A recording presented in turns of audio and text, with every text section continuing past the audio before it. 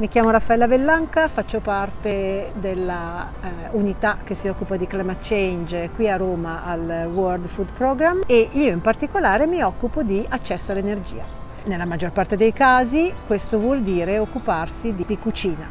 Quindi cerchiamo di promuovere nei paesi dove lavoriamo delle cucine che siano efficienti, possano utilizzare meno legna, meno carbonella e quindi avere un minore impatto ambientale e eh, limitare la deforestazione, che abbiano meno emissioni perché il fumo eh, che produce eh, la cucina a lungo andare provoca problemi respiratori.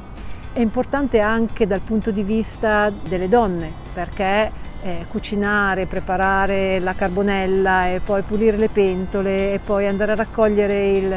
la legna impiega tantissimo tempo che invece potrebbe essere impiegato per attività produttive, per, per studiare, per, perché poi vengono mandati i bambini ovviamente a raccogliere la legna. Ci occupiamo anche di guardare alla eh, catena del cibo nella sua interezza, quindi dalla coltivazione alla trasformazione alla eh, conservazione. Tutti questi processi richiedono energia. Un'applicazione particolare che eh, mi sta a cuore è quella nei programmi di alimentazione scolastica in cui eh, distribuiamo il cibo per eh, i bambini della scuola ma anche dobbiamo occuparci di come questo cibo venga cucinato e quindi promuoviamo cucine ecosostenibili che devono essere per forza di cose diverse a seconda del, della regione del mondo in cui lavoriamo perché eh, ognuno ha la propria tradizione culinaria.